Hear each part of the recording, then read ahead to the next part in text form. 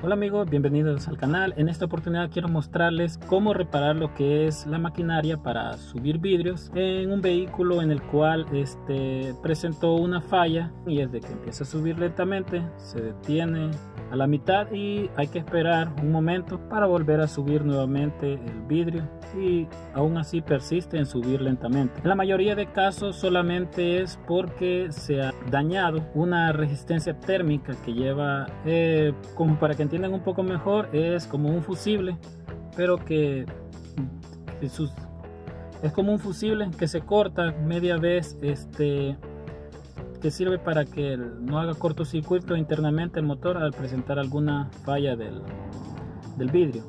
Eh, en muchos casos o en muchos países es muy difícil conseguir lo que es el equivalente o el reemplazo para ellos. Eh, ahí es donde nos toca reparar a nosotros la parte eléctrica de la máquina para subir vidrios.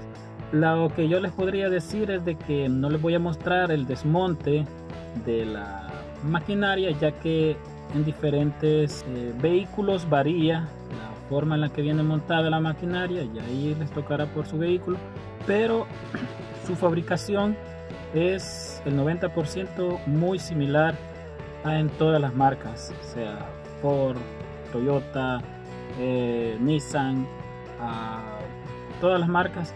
La fabricación interna del motor es igual y la falla siempre se presenta de igual manera. Deja de funcionar o a mitad de camino se detiene o simplemente sube muy muy lento así de que les mostraré cómo desmontarlo eh, perdón les mostraré cómo desarmarlo y eh, realizar el proceso para que lo puedan volver a hacer funcionar. Así que procederemos al, al, desarme y les mostraré cómo se hace este proceso.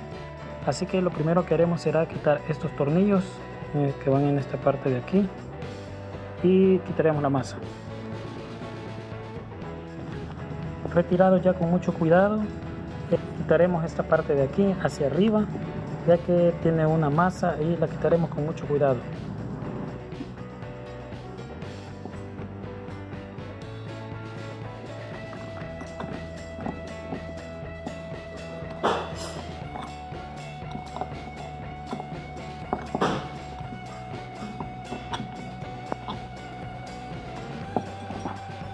Como verán aparentemente no tiene daño lo que es la masa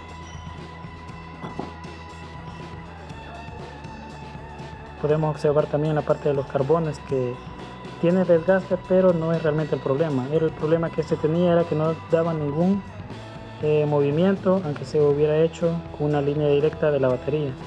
Lo que nos está produciendo este problema es esta termoresistencia que es en esta parte de aquí y lo único que haremos será unirla.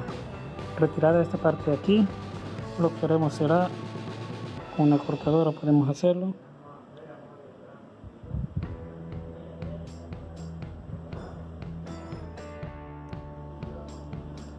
eh, pondremos unos puntos de soldadura para asegurar mucho mejor el, como pueden observar pues ya colocamos un punto de soldadura y volveremos a armar nuevamente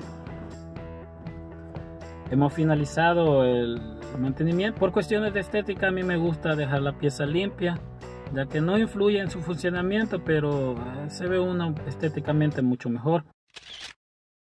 Estaré mostrando procesos es siempre en lo que es la área de electricidad automotriz.